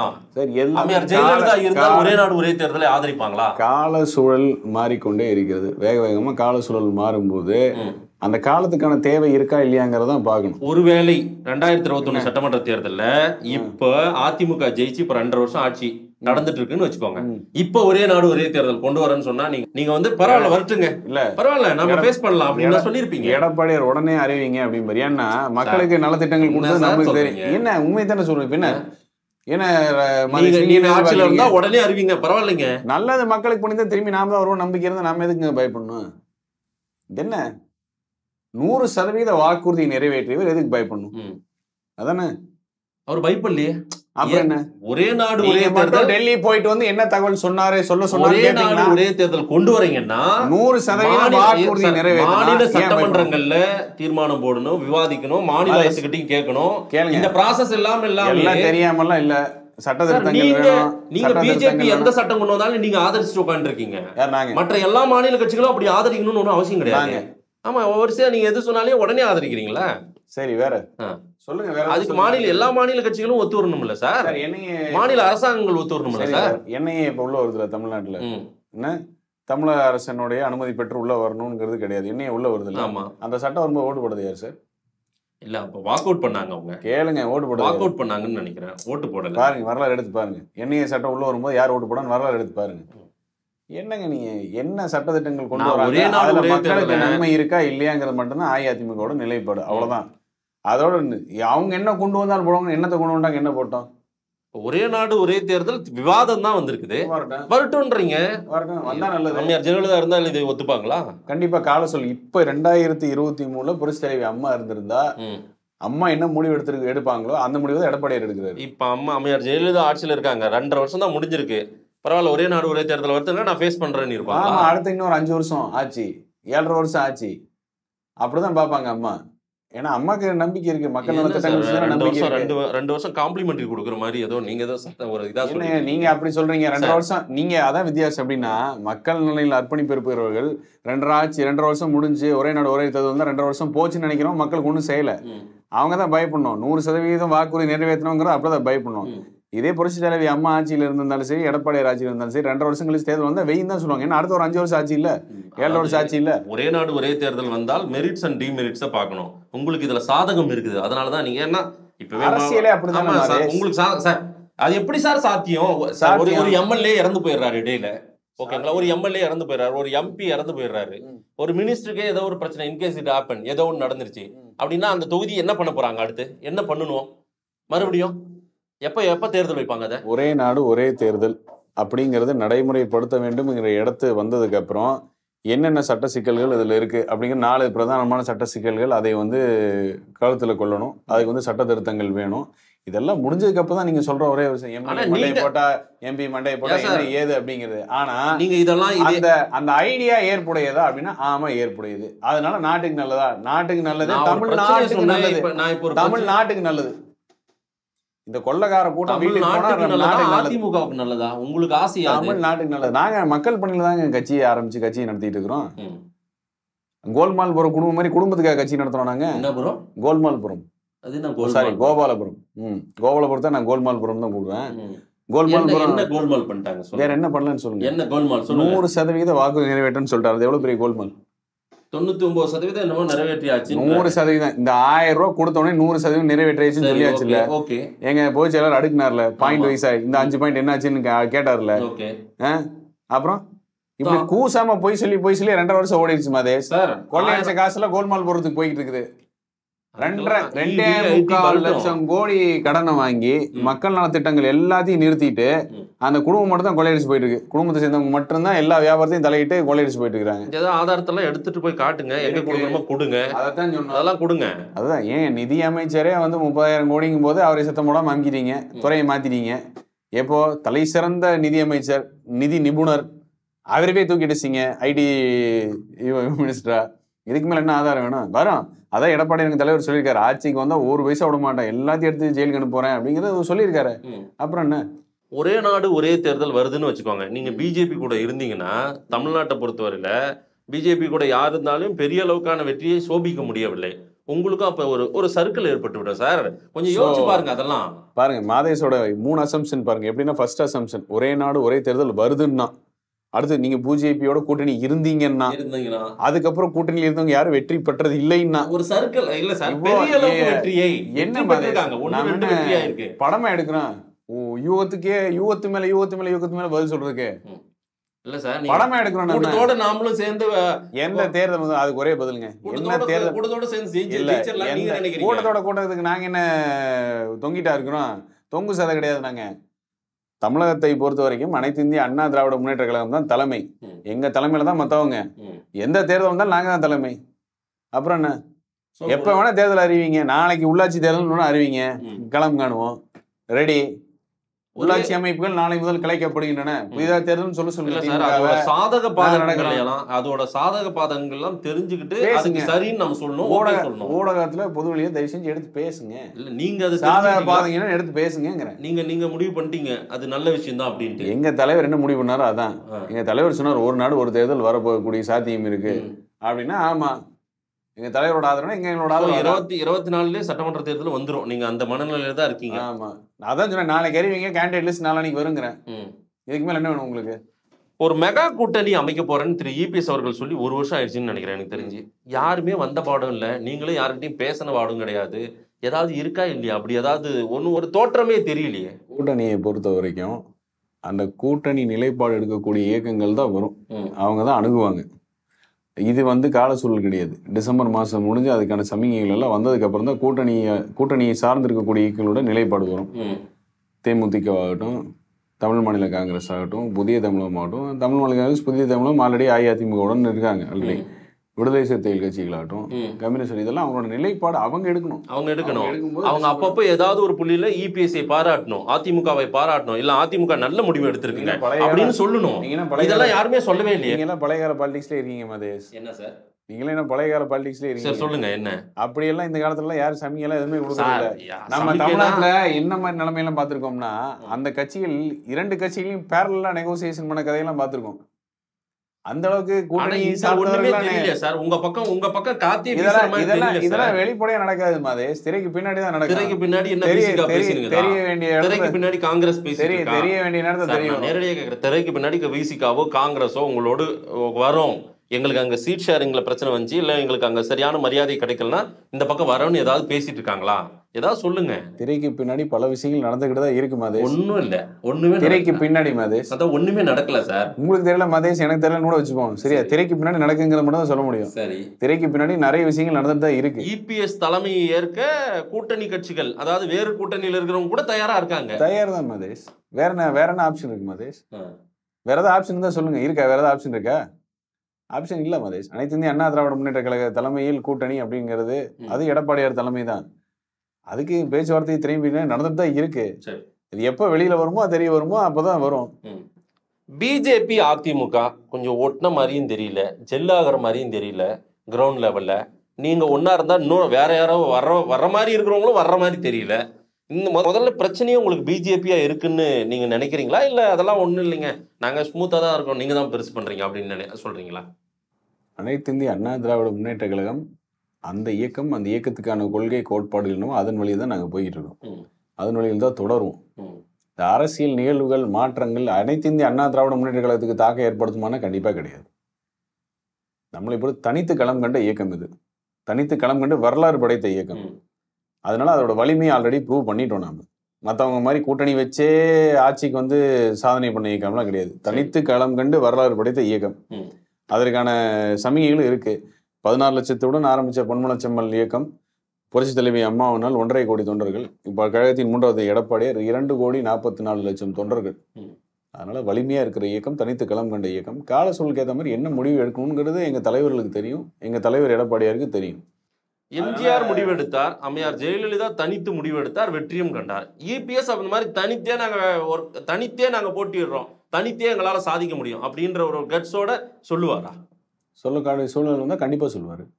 ஏன் சொல்ல மாட்டாரு? ஏன் இப்ப தேவை இல்லையா சூழல் இல்லையா? அவருக்கு தெரியுங்க இது சூழல் என்ன கால சூழல் என்னன்னு எங்க தலைவருக்கு தெரியும். எங்க தலைவரை நம்புறோம் நாங்க அதுக்காக தான் நாங்க தொண்டர்களா இருக்கோம் ஆனா பிஜேபி விஷயத்துல உங்களால மெல்லவும் முடியாம மாதிரி எங்களை மாதிரி. எங்களை மாதிரி தொண்டர்கள் கழக நிர்வாகிகளோட நம்பிக்கையை பெற்றனால கழக பொதுச் செயலாளரா இருக்காரு. அவரை நம்புறோம் அவர் சொன்னா ஆமா சொல்லக்கூடிய துணிவு இருக்கு நாம துணிவு ஆனா. பிஜேபி விஷயத்துல மெல்லவும் முடியாம விழுங்கவும் முடியாம தத்தளிக்கிறீங்க போல தெரியுது ரொம்ப? என்ன என்ன. பண்றதுன்னு தெரியல இது உங்களுக்கு என்ன கதையா இருக்கு மாதிரி அவங்கள விடவும் முடியல அவங்கள எதிர்த்தும் பேச முடியல உடனே போய் நெருக்கமாவும் பேசுறோம் அடிச்சும் பேசுறோம் எல்லாமே கலந்து நடக்குது. ஒரு கலவையா குழப்பமாவே இருக்கு. இதான அரசியல். வேற என்ன அரசியல் அப்புறம்? அரசியல் அப்புறம் வேற என்ன? அரசியல் இது அரசியல் இது அரசியல். அவங்க என்னன்றது திமுக கூட்டணியில? உதயநிதி சொல்றார் பக்கா நாடகம் பண்ணுங்கிறாங்க ரெண்டு பேரும் உட்காந்துக்கிட்டு உங்க நீங்க ரெண்டு பேரும் அடிச்சுக்கிறது கூட நாடகம்ன்றாரு உதயநிதி. என்னமோ சொல்லுவா? அவருக்கு தெரிஞ்ச அரசியல் அறிவுக்கு அதை சொல்லுவாரு. என்னமோ சொல்லிட்டு போறாரு. என்ன இப்ப? ஏன் உதயநிதி சொல்றாலும் ஒரு பெரிய மேட்ரா? நீட் ரகசியம் தெரியும். என்ன? அப்புறம் முதல் கையெழுத்து நீட்டுன்னு சொல்லி விளம்பரம் பேசிட்டு அந்த நீட் விளக்கு உண்ணாவிரத்துக்கு கூட எங்களை தான் கூப்பிடுறாங்க. இப்ப மேகதாது அணைக்கு ஏத்த மாதிரி அனைத்து கட்சி கூடணும்னா அஇஅதிமுக தான் தேவைப்படுது. எதா இருந்தாலும் அஇஅதிமுக அஇஅதிமுக தேவைப்படுதுன்னு தான் பொது வழியில பேசி கூப்பிட்டு இருக்காங்க திமுக? என்னைக்காவது அதிமுகவை இறங்கி வந்து வாங்க போலாம் ரெண்டு பேரும் போலாம் நாளைக்கு அது வெற்றி பெற்றால் அந்த கிரெடிட் கோஸ் டு இபிஎஸ் எடுத்துக்கோங்க அப்படின்னு கூப்பிடுறாரு அப்புறம் அந்த மாதிரி அப்புறம் அந்த மாதிரி? திமுக ஹீல்டாய் வந்திருக்கா இறங்கி வந்திருக்கா. கூப்பிடுறாங்கல்ல ஒரு ஒரு. மக்கள் உண்மையா சொன்னா உயிர் போயிட்டே இருக்கு அதுக்கப்புறம் கூட. எதுக்கு வீரம் பேசணும் அப்புறம் எதுக்கு வீரம் பேசணும் அவர் வீரம் பேசினாரு. அப்பதான் இப்பதான் வாங்க. எல்லாரும் ஊர் கூடி. இதோட dialogue சொல்ல சொல்லுங்க. தெரியாம வீரம் பேச நீ மன்னிச்சுங்க. வாங்க எடப்பாடியார் நீங்க வந்து வழிகாட்டுங்க அப்படின்னு சொல்ல சொல்லுங்க. இல்ல சார் அங்க? வந்து சித்தராமையாவும் டி கே சிவகுமார் அப்புறம் வந்து க- எடியூரப்பா மற்ற கட்சிகள் ஆஹ், குமாரசாமி எல்லாருமே உட்கார்றாங்க. ஒன்னா ஒரே ஒரே இடத்துல உட்கார்றாங்க மொத்த பேரும். மொத்த பேர் உட்கார்றாங்கல்ல? உட்கார்ந்து காவிரிக்காக உட்கார்றாங்க. அந்த மாதிரி நீட் எதிர்ப்புக்காக நீங்க ஒன்னா உட்காருங்க போயிட்டு. நீட்ட சொல்ற இன்னொரு உதாரணம் இப்ப எவ்வளவு கேவலமான கட்சி நான் சொல்றேன் இப்ப உதாரணம் திமுக. திமுக. சார் அவங்க? இறங்கி வந்து உங்களை கூப்பிடுறாங்க இல்ல. கேளுங்க. இது ஒரு உதாரணம் சொல்லி இறங்கி வந்து கூப்பிடுறாங்கன்ட்டு இன்னைக்கு வந்து மேதாது பிரச்சனை இருக்கு. ம், உச்சநீதிமன்றத்துல என்ன சொன்னாங்க? நேத்து? இதை போடுறது நான் இப்ப சொல்றது நீங்க வந்து எடிட் பண்ணாம போடுவீங்கன்னு நம்புறேன். சொல்லுங்க. உச்சநீதிமன்றத்துல என்ன சொன்னாங்க? காவேரி வாட்டர். ட்ரைபியூனல்ல எங்களால தலையிட முடியாதுன்னு சொன்னாங்கல்ல. ஓகே. ஆனா இருபத்தி ரெண்டு நாள் நாடாளுமன்றத்தை முடக்கி அந்த சட்ட போராட்டத்துக்கு ஒரு முடிவு கொண்டு வந்து அரசியலை வெளியிட்டு காவேரி வாட்டர் ட்ரைபுனல் அமைக்கப்பெற்று இன்னைக்கு அதன் வழியில் தான் தண்ணி கிடைக்குது இல்லையா? ஆனா இது இவ்வளவு போராட்டம் பண்ணி விட்டுருமோது என்ன என்ன கேவலமா பேசுனாங்க? பள்ளி இல்லாதது ஆணையம் அது. அதிகாரம் இல்லை ஆனா இன்னைக்கு என்ன பண்றாங்க? ஊடகத்துல வந்து உட்காந்துட்டு. இந்த காவேரி வாட்டர் ட்ரிபியூனலுக்கு உச்சநீதிமன்றத்துக்கு நிகரான அதிகாரம் இருக்கிறது. அதை கேள்வி கேட்க முடியாது. வெக்கமெல்லாம் பேசுறீங்க. அன்னைக்கு இதை வச்சு மொழி அரசியல் பண்ணீங்க. சரி. இன்னைக்கு அஇஅதிமுக பண்ண சாதனையை தான் நீங்க எடுத்து வச்சு சுத்துறீங்க. இன்னைக்கு வழக்காடு மன்றத்துக்கு போனாலும் உங்களுக்கு சாதகமா தீர்ப்பு அடிக்கணும் அப்ப யாரோட சாதனை? சாதனை எவ்வளவு கேவலமா பேசுனீங்க? ஏதோ ஒரு முறையில தண்ணி கிடைச்சிடும் எவ்வளோ எவ்வளோ தூண்டி விட்டீங்க? இங்க அணை கட்டி முடிச்சாங்க தடுப்பணை கட்டிட்டாங்க மார்க்கண்டேய நதிக்கு இதை பண்ணிட்டாங்க அதை பண்ணாங்க மார்க்கண்டேய நதிக்கு இடம் கொடுத்தது யாரு? பிரச்சனை இருக்குது இவ்வளோ இவ்வளோ இரட்டை நிலைப்பாடும் இந்த திமுக இன்னைக்கு அவங்களோட கையாளாதனத்தை மறைக்கிறதுக்கு அஇஅதிமுக துணை போகணுமா? நான் நீட்டுக்கு சொல்றேங்க. நீங்க வீட்டுக்கு காவிரி- தான் முதலே தலைவர் சொன்னாரு. சட்ட போராட்டம் அது உச்சநீதிமன்றத்துக்கு போயாச்சு. சட்ட போராட்டம் தரும் அந்த சட்ட போராட்டத்தை எடுத்து நடத்துற ஒரே இயக்கம் அனைத்து அண்ணா கழகம். அப்ப நீங்க முன்னாடி வந்தீங்களா? எங்களையும் ஒரு பார்ட்டி சட்ட போராட்டம். ட்ராக்ல பண்றாங்க சார். மக்கள் போராட்டத்துக்கு வாங்க. அப்ப அந்த சட்ட போராட்டத்துக்கு எங்களையும் ஒரு பார்ட்டியை சேர்த்துக்குன்னு வந்தீங்களா? திமுக இருந்து வந்தீங்களா? இல்ல இல்ல. உட்கார்ந்து இங்க பெண அரசியல் தானே பண்ணிட்டு சுத்திட்டு இருந்தீங்க. இப்ப மட்டும் உங்களுக்கு என்ன? உதயநிதி வந்து தலைவராகணும் அவருக்கு வந்து துணை முதல்வர் பதவியை கொடுக்கணுங்கிறக்கா அவங்க போதைக்கு அஇஅதிமுக ஊருகையா அவர் கூப்பிடுவாராம உண்ணாவிரத்துக்கு வாங்கன்னு. ஏன்னா அவர் பெரிய தலைவரா? கூப்பிடல. வாங்க மோடி கிட்ட போய் பேசலாம் அவர் பெரிய தலைவரா? அமித்ஷா கிட்ட பேசலாம் அவர் பெரிய தலைவரா? நாங்க ஒன்றும் பரம்பரை கொத்தரிமை கிடையாது. எங்களுக்கு தெரியாது என்ன ஒண்ணுன்ட்டு. எங்க தலைவர் தெரியாது என்ன ஒண்ணுன்ட்டு. இன்னும் உதயநிதி கூப்பிட்டாரமா நாங்க போயிடணுமா அப்ப நீட்ல இன்னும் நாலஞ்சு உயிர் போட்டுன்றீங்க. தூண்டி விடுறது யாருங்க? யார் தூண்டி விட்டது? இதே நீ ஆமா தூண்டி விடுறது யாரு? சட்ட போராட்டம் மக்கள்கிட்ட உண்மை. பேசாது யார் தூண்டி எல்லாம் யாரும் விட மாட்டாங்க மக்க- இது தூண்டாம என்ன பண்ணாங்க. ஏங்க இப்போ இப்போ நான் போன வாரம் செப்டம்பர் மாசம் பன்னெண்டு பன்னெண்டாம் தேதி. நீட் என்னும் பலிபிடம் லெட்டர் எழுதினார்ல? காமிட்டுமா அதை. செப்டம்பர் பதினெட்டு ரெண்டாயிரத்தி இருபத்தி இருபது. ரெண்டாயிரத்தி இருபது செப்டம்பர் லெட்டர் போட்டார்ல? மு க ஸ்டாலின் நீட் என்னும் பலிபிடம். மாணவர்கள் இன்னும் எட்டு மாத காலம் தான் போட்டார்ல? ஆட்சிக்கு வரதுக்கு இன்னும் எட்டு மாசம் தான் இருக்கு. எட்டு மாசம் தான் நீட்டு போயிருந்தார்ல பிண அரசியல் பண்ணி அதை பண்ண தூண்டி விடுறது யாரு? என்னைக்காச்சும் நீட்டை பொறுத்து மக்கள் உண்மையை பேசியிருக்கீங்களா. திமுக பேசியிருக்காங்களா? உங்க- ஆட்சி காலங்கள்ட்ட உங்க ஆட்சி காலகட்டங்கள்ல ஜல்லிக்கட்டுன்னு ஒண்ணு போராடி பெற்ற பெற முடிந்தது நம்மளால. ஒரு ஒரு சட்ட திருத்தங்களையே நம்மளால மாற்ற முடிந்தது. இங்க நம்ம அது மாதிரி பண்ணலாம் வாங்கன்னு கூப்பிடுறாங்க. ஏன் அது ஒரு ஒரு ஃபுல் ஸ்டாப் வைக்கலாம்ல சார் அதுக்கு? வாய்ப்பு இருக்குல்ல? ஏன் முடியாதா என்ன? திரும்பவும் திரும்பவும் சொல்றேன். எங்களோட நிலைப்பாடு மக்கள்கிட்ட உண்மையை பேசி தான் மக்களை சந்திக்கணுங்கிறது எங்க தலைவரோட உத்தரவு. நீட் என்னும் தேர்வு அது வந்து சட்டமன்றத்தில் போயாச்சு. உச்சநீதிமன்றத்தில் இருக்கு. Five bench already three bench ஒன்று வாங்கி அதை ஃபைவ் பெஞ்ச் ஓவர் ரூல் பண்ணி உச்சநீதிமன்றத்து தீர்ப்பில் தான் நீட்டு தமிழ்நாட்டுக்கு வந்துச்சு. இப்போ நீட்டு விளக்குக்குன்னு கூப்பிட்ற ஆட்கள் இன்னும் என்ன போய் சொல்லி சுத்திட்டு இருக்காங்க எடப்பாடியாவது நீட்டு கொண்டு வந்தாருன்னு சொல்லி சுத்திட்டு இருக்காங்க வெக்கமே இல்லாம. போய் சொல்லி வெளியில. உச்ச நீதிமன்றத்தை நான் சொல்ல. சரிங்க. இப்போ. இப்போ அப்படிலாம் இல்ல. நீங்க சொல்ற மாதிரி நடந்தது. எடப்பாடியார் தான் கொண்டு வந்தாருன்னு பேசுனாங்க. இன்னும் பேசிட்டு இருக்காங்க நான் வேணா ஆதரவான உங்களுக்கு அனுப்புறேன். பாத்துங்க வேணா இப்ப சொல்ல சொல்லுங்க. உச்சநீதிமன்ற தீர்ப்பை மதிக்க முடியாது. தமிழ்நாடு நீட்லன்னு சொல்ல சொல்லுங்க. தைரியம் இருந்தா. பண்ற அத்தனையும் ஃப்ராடு தனம். அத்தனை போர் வண்டி வேலையும் பண்ணிட்டு அதுக்கப்புறம் அவங்களுக்கு நல்ல பேர் வரணுமாம உடனே நீங்க வாங்க நீ உதயநிதி யாருங்க? எங்களை கூப்பிடுறதுக்கு. அவனு பெரிய தலைவரா? அமைச்சர் தானே இன்னைக்கு மாண்புமிகு அமைச்சர் அவரு. அதை அவர் யாருங்க? மாண்புமிகு அமைச்சர். என்ன பண்ணாங்க மாண்புமிகு அமைச்சரான பிறகு தமிழ்நாடு டீம் இந்தியன் டீமுக்கே போல. ரெப்ரசன்டேஷன் பண்றதுக்கு. இதான் இன்னைக்கு இருக்கிற நிலைமை. அவ்வளோ கேவலமா இருக்கு. அவர் சும்மா மேடை ஏறி வீரம் பேசிடுவார். வெளியே கொடுத்தது அவங்க அப்பா மாதிரி எடுத்து வீரம் பேசிடுவாரு. அந்த ரகசியம் எனக்கு தெரியும். வெக்கமான சூடு சொன்ன இருந்தா நீட் இருக்காது ரெண்டரை வருஷம் ஆச்சு. அப்போ வெக்கமான சூடு சொன்னேன் இல்லையா? சொல்ல சொல்லுங்க அப்போ ஓப்பனா எங்களுக்கு எல்லாம் வெக்கமான சூடு சொன்னே கிடையாது போய்விட்டது. அதனால நீட் எங்களை எடுக்க முடியலன்னு சொல்ல சொல்லுங்க. சும்மா பேசுற மக்களை தொடர்ந்து போய் திமுக சொல்லி குறைகளை சொல்லிக்கொண்டு ஒரு மக்கள் பிரச்சனைக்கு வாங்கன்னு கூப்பிடும்போது கூட நம்ம இறங்கி வர மாட்டோம் கொடுத்துருக்காருங்க எடப்பாடியார் கர்நாடகாவில இறங்கி உண்ணா உட்கார்றாங்க. கேரளாவில இறங்கி உண்ணா உட்கார்றாங்க. எடப்பாடியார் தீர்வு கொடுக்குறாரு கொடுத்தாரு. ஏழரை சதவீத உள் ஒதுக்கீடு எங்கேயுமே கிடையாது. இந்தியாவிலே எங்கேயும் கிடையாது. அந்த ஏழரை சதவீத உள் ஒதுக்கீடுக்கு ஆறுதல் மெடிக்கல் கவுன்சில வேண்டிய ஆறுதல் ஆதரவு கொடுத்துச்சு. ஆனா மாநிலத்துக்கு அதிகாரம் இல்லைன்னு காங்கிரஸ் போய் வாதாடுச்சு உச்சநீதிமன்றத்துல. நீட் வழக்கு மாநிலத்துக்கு தன்னிச்சை அதிகாரம் கிடையாது. மாநில அதிகாரம் கிடையாது. மத்திய அரசோட கலந்தாக்கணும். அதுக்கு எம்சியும் ஆமான்னு சொல்லிச்சாங்க போய். ம். இந்த கூட்டணியில் இருந்ததுனால தான் சாத்தியப்பட்டு என்ன எடப்பாடியார் வழி கொடுத்தாரு. கவர்மெண்ட் எய்டட் ஸ்கூலுக்கு ரெண்டரை பர்சன்ட் கொடுப்பேன் நீங்கல்ல. ஏன் கொடுக்கல என்ன ரெண்டரை வருஷம்? அப்புறம் விளக்குக்கு மட்டும் போராட்டம் வாங்க வாங்கன்னு கூப்பிடுறீங்க. எங்க வழக்காடு மன்றத்தில் இருக்கு உச்சநீதிமன்றத்தில். வழக்காடு மன்றத்தில் போய் எதுக்கு ரெண்டு தடவை வாய்தா வாங்குறீங்க? எதுக்கு அட்ஜென்ட்மெண்ட் வாங்குறீங்க அவ்வளோ அக்கறைக்கு ஏக்கராஜன் கமிட்டினா வச்சு பேசியிருக்க வேண்டியதானே பேசணுமா பேசக்கூடாதா? எதுக்கு அட்ஜென்ட்மெண்ட் கேட்குறீங்க ரெண்டு தடவை. நீட்டு நீட்டு வரும்போது எதுக்கு ரெண்டு தடவை போய் அட்ஜென்ட்மெண்ட் கேட்குறீங்க ஏக்கராஜன் கமிட்டி தரவுகள் சரியா இருக்குன்னா போய் வழக்கில் வாதாட வேண்டியதானே பண்ற ஃப்ராடு வேலை எத்தனையும் பண்ணிட்டு இங்க உட்காந்து விளம்பரம் மட்டுமே கொடுத்து வாழ்க்கை ஓடிட்டு இருக்கிற ஒரு இயக்கம். அந்த இயக்கம் கூப்பிடுமா? உடனே சேர்ந்து போய் நிக்கணுமா? என்ன ஒரு நாடகம் இதெல்லாம்? உச்சநீதிமன்ற தீர்ப்பு நாங்க தலையிட மாட்டோம். காவேரி மேலாண்மை வாரிய ஆணையம் சொல்றதா ஃபைனல் சொல்லி அனுப்புறாங்க. ஆனா அதுக்கு எங்களை மக்கள் உரிமை மாநில உரிமை தானே? உரிமைன்னா மக்கள் உரிமை மாநில உரிமைக்காக தானே கேக்குறாங்க. எல்லாரும் ஒண்ணு ஒரு ஊர் தேர்தல் தான் அதுல வாய்ப்பு இருக்குல்ல. அந்த தேர் அது பாட்டுக்கு போகும்ல பாதியை நோக்கி. அது அது போற சரியான வழியான்னு முதல்ல சரியான வழியை தேர் தேர்ந்தெடுங்க.